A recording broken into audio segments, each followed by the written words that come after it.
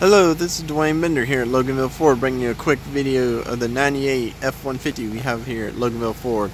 I'm just going to do a quick walk around to show you the vehicle. As we make our way to the back, you will see it is lifted, wheels and tires, 4x4 off-road. It also has LED lights situated all across the front of the vehicle.